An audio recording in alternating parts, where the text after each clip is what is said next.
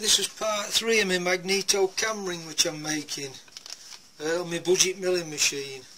I'll just have a bit of a recap about my magneto before I carry on. Uh, I know I keep saying it but uh, if you want to catch up with my magneto project there's uh, videos on how I made a coil winder. Then there's four videos on how I rebuilt it, made a test rig um, and repaired body. And then this is part three of me making a ring that we're missing for it. An identical cam ring from a from a pattern one. From a, Lu a Lucas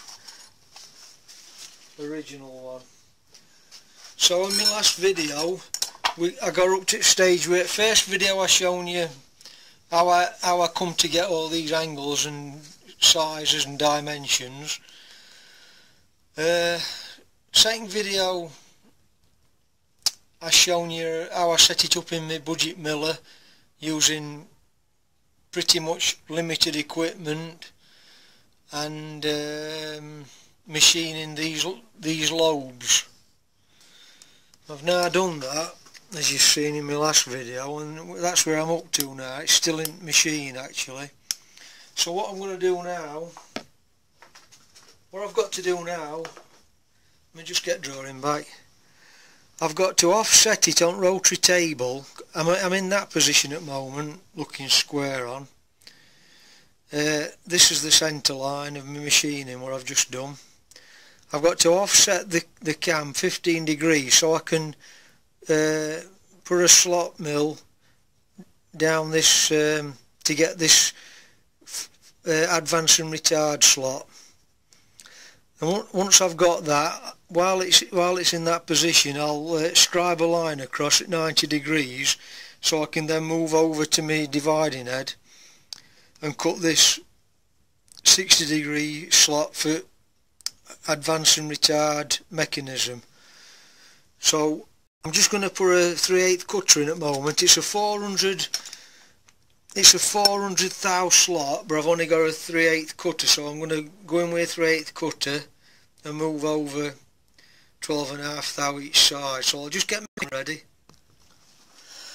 Right I've uh, I've moved my uh, rotary table 15 degrees. Right I've put this slot in now. That's for the uh, um, location point that, goes into magneto for advance and retard. So while it's set at that uh, while it's set um, ver vertical, with, not vertical, into on y-axis plane, I'm just going to mark the two marks on here so I can get my 90 degree mark for my V groove. And to do that, I've got a I've got a chuck and it's got one of my old taps in that goes, that's got a nice sharp point and I'll just scribe that across it. So I'll just change tooling for that. Right, so I'm just going to scribe a line at 90 degrees to this slot that I've just put in. So I'm just going to touch on with that point of that tap.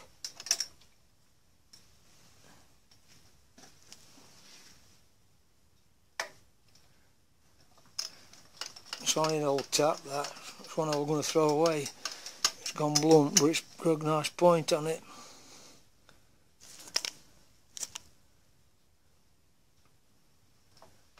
Just scribe a line there then I can use that to set up with. That's it. So what I'm going to do now is uh, take this Arctic chuck now because it's all finished in operations in that and put me chuck onto dividing head. Then I can set my slot 90 degree to my groove and then I'm going to cut my groove for advance and retard mechanism Right, sorry about that. Been a, been a while setting machine up because I had to move everything, uh, drop head and everything to get down low enough to machine this slot. So, just looking at my original cam ring here, I've just milled that one in my rotary table as you've just seen, and now I'm going to cut this slot here at 90 degrees.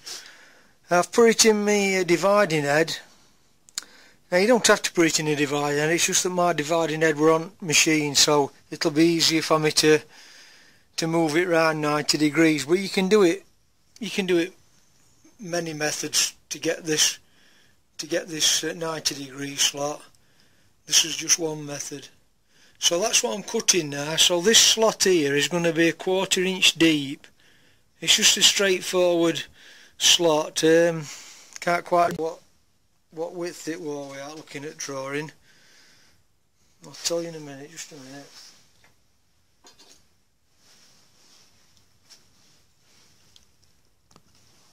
Right, it's approximately 100 thou wide that slot. Now my cutter's only 332 which is 90 thou but I'll get round that shortly by uh, showing you when I put the angle on. And what I'm going to use to put the angle on, I ain't got, I've got no special cutter or anything. It's a 60 degree angle. It's a 60 degree angle on that. And all I'm going to use is one of my, a broken centre drill that I had saved. It's the exact angle that I need 60 degree inclusive 30 degree on each side and when I put this um, centre drill in to drill that angle it'll just open that hole out that, that slot that few thou that I need to make it 100 thou so I'll just do this off camera because I need to move camera because I've got to get to controls machine to do this all I'm doing is putting this slot in a quarter deep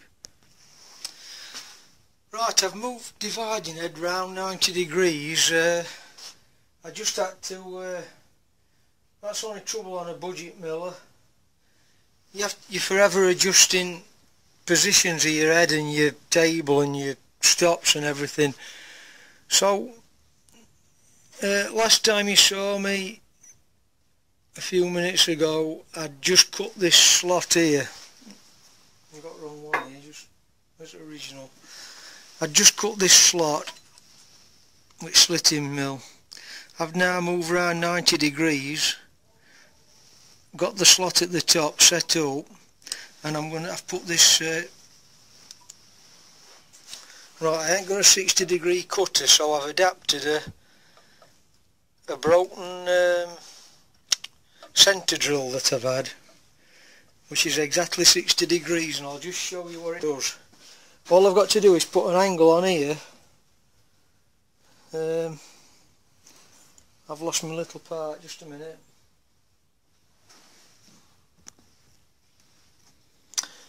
yeah I've got to put an angle on just to accept this this uh, retard and advance mechanism that that goes into that.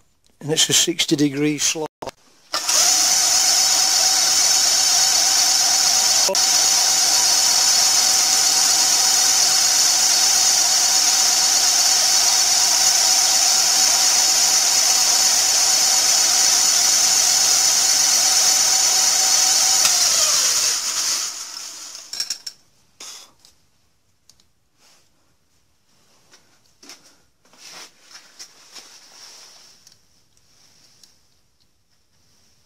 just need to go a bit deeper just so that goes in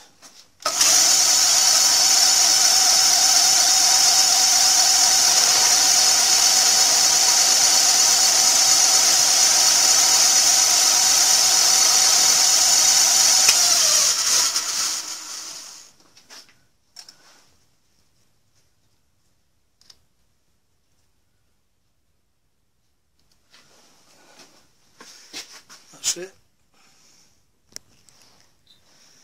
Right, that, that's that's it then. Uh, that's conclusion of this project. Um, here's me, me one out my bike, my cam ring, and here's my copy, which I've just just shown you how I did it. Um, and the one I did before this, I've tried it in bike and it works perfect. I've had it back in my lathe and checked the degrees the degrees on cam and they're exactly the same as as um, the template one out my bike. That's an original Lucas. so the only difference on, on mine is this this slot this V slot I mean obviously back in uh, oh, I'm looking for my part back in in times when they did it they, they would have had a special cutter to have done that. Well I've just done it. Uh, I've got that angle that 30 degree angle with a centre drill what we broke in my holder which still in the machine. And that's giving me that exact 30 degree angle for this um, advanced mechanism to sit in as you see there.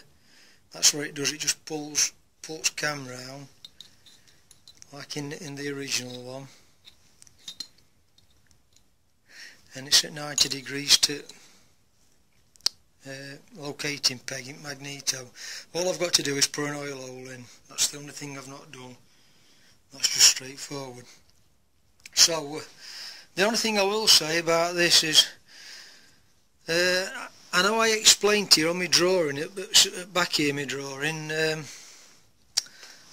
I know I explained to you on this drawing how I got my angles in my lathe with that uh, degree um, gauge what print back now, you must bear in mind this.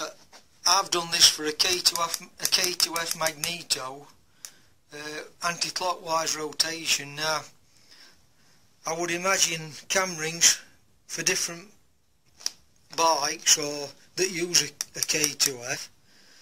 Uh, maybe it might be a bike with a clockwise rotation, whereas this is anti-clockwise. So the the cams would be in a different position. And also um, if it was uh, on a V V twin the cam lobes would, would be different. They wouldn't be 180 degrees. So this cam load, cam lobe sorry this cam ring is specifically for this anti-clockwise KF2 magneto for my bike so uh,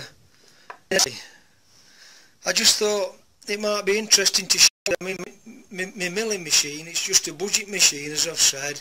I've only got basic basic tools, budget tools. I don't go, I don't, I'm not extortionate with my tooling. I just uh, make do with what I've got. And uh, a simple boring head, a couple of simple cutters, um, dial test indicator, vernier caliper, and then you've just got to make your your spacer for it to sit in chucking so you don't run into chuck. And what else is the there's this ring here to set your dividing head up, to to 0.630 radius uh, a cutter foot boring head. Feeler gauges micrometer and a budget bore gauge. And I've produced this now. It's within it's within less than a what half a thou tolerance to original which is quite ample